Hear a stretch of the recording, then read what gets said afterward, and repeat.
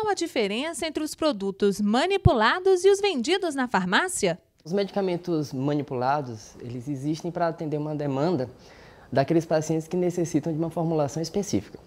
Então, a indústria não tem como, a indústria de medicamentos não tem como arcar com a logística, né, econômica principalmente, da produção de medicamentos que são individualizados. As farmácias de manipulação devem seguir algumas normas. A exposição desses produtos ao público, por exemplo, é proibida.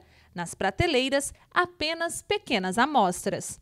No momento que você abre esse leque e começa a fazer a grande escala um produto, ele acaba, acaba ultrapassando um pouquinho da, da, da medida em questão de prazo de validade, de, da questão da estocagem desse tipo de produto.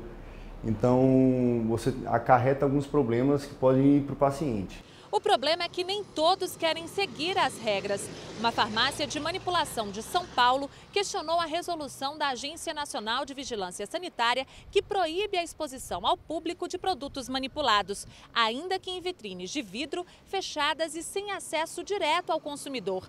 Mas a Advocacia Geral da União conseguiu demonstrar na Justiça a legalidade da norma. O Procurador Regional Federal Substituto da Primeira Região explica que a Anvisa tem poder para estabelecer as normas de funcionamento de farmácias e drogarias e enfatiza que a atuação da AGU foi para garantir a proteção e a defesa à saúde da população.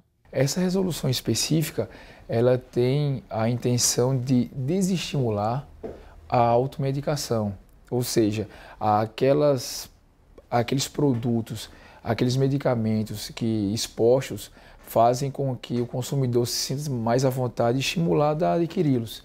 Então a ideia é desestimular a automedicação.